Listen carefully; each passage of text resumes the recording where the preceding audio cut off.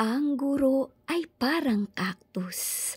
Maligayang araw po ng mga guro sa buong mundo. Happy Teacher's Day po! God bless you all.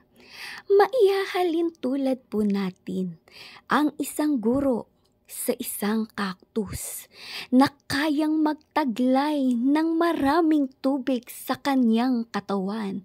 Kaya kaya niyang mag-survive sa isang mainit na lugar kagaya ng disyerto.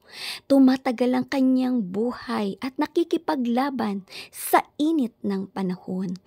Parang mga guro na nasa loob ng isang classroom na kayang humawak ng maraming mag-aaral, turuan, mahalin at gabayan sa araw-araw.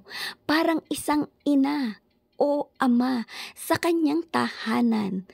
Na minamahal ang kanyang mga mag-aaral, hinahawakan na may pagmamahal at tibay ng loob. Kaya kaya niyang mag-survive ng ganong katagal sa kanyang pagtuturo dahil sa pagmamahal niyang tinataglay para sa kanyang mag-aaral. 'Di ba? Para siyang isang cactus.